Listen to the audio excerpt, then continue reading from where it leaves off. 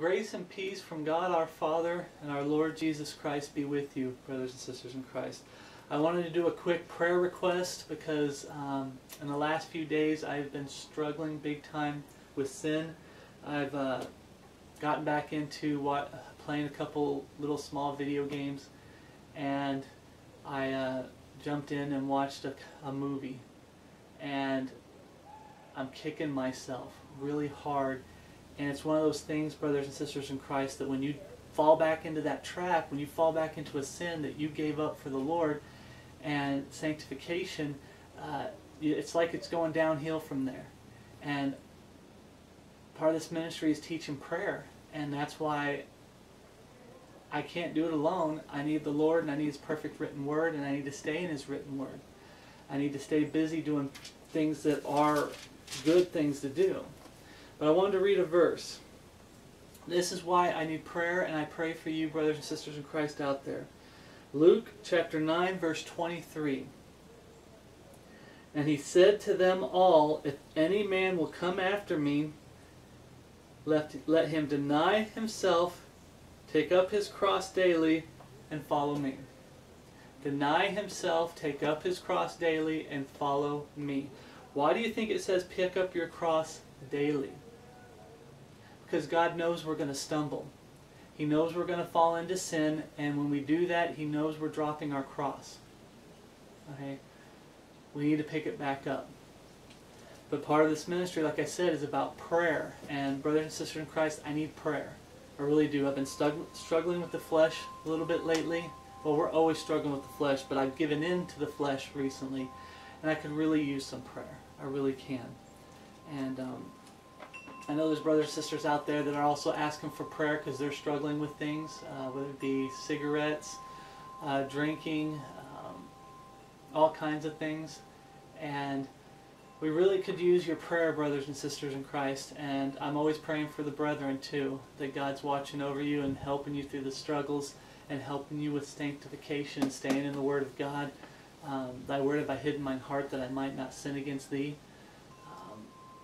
I still got a long drive coming up, and it'll probably be here in the next couple weeks. Um, I do need prayer um, for the drive. And like I said, part of this ministry is prayer requests, brothers and sisters in Christ. I'll link the uh, email again, but email me. I mean, you gotta. I have prayer requests galore. Okay, I work on the hillside, and I don't want to hurt my back. Um, I've tried uh, doing videos down there, and I have done a couple of videos down the hillside, but um, right now my biggest prayer is for my future wife, and for me, we could really, really use your prayers, not just the travel, but, um, you know, just us trying to do things the right way, and to do things God's way, and that, uh, you know, God will watch over both of us until He brings us together in unity, uh, one flesh um, the drive. Uh, there's just so many things you can ask for prayer for. So I'm going to link the prayer um, email address again, and please, please feel free to call our call, email, and do prayer requests, testimonies. Um, one of the big things is testimonies. Send me a testimony. Um, right now, I got a good prayer and testimony video update to do. I found some things in my house that weren't good things. And even if you come across something that you find that isn't, um, that you even think might be bad, and I'm not talking about just, okay, I think that could be bad, I'm going to throw everything out, just throw everything out the house. No, I'm talking about you grab something and you investigate and you research, and if it just looks somewhat like it could be, and or someone can look at it and take it that way, um, it's best to get rid of it. So I got some videos coming up about uh, some things I've had in my house that I have to throw out again. And it's not me bragging, it's me trying to encourage you brothers and sisters in Christ to continue the sanctification in your home, to continue cleaning house. Okay? Um, I thank my brothers and sisters out there that have encouraged me, uh, that have talked with me and given me ideas for Bible studies and things for me that I'm like, I don't know the answer to that, so let's let me look it up and do a study. Um, thank you, thank you for that. So for me right now, prayer for the struggles with the flesh, prayer for when the time comes. Like I said, it'll probably be a couple weeks. And I got to do a 10 hour drive up and the following day a 10 hour drive back. And um, pray for my future wife and my, me. Okay.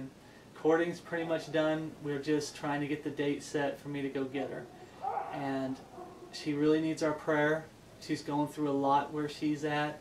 And my heart goes out to her and she just she really needs our prayer that God will protect her, watch over her, give her the strength to get done what she needs to get done and to continue her walk with the Lord through all of it, Lord. So that is a great prayer that I need. So thank you for watching. Let's get busy praying, brothers and sisters in Christ. Continue to pray to the Lord. Give thanks in all things. I thank Him for my future wife. I thank Him for the drive. I mean, it's going to be a pain in the butt, but I still thank Him for giving me the ability to go down there and pick, or go up there and pick her up. I thank the Lord that He's given me a perfect written word to help overcome sin. Um, I thank the Lord because He's protected her so far, and I know He will continue to.